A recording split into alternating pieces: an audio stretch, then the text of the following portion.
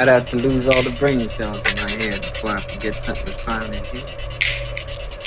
Does everyone need an audition to get with you? You ain't gotta go through all that shit. Then I choose you. Listen, Pretty Tony. I mean, you know the rules of the game. I mean, your bitch just chose me. Now we can settle this like you got some class, so we can get into some gangster shit. L-A-B, that's me.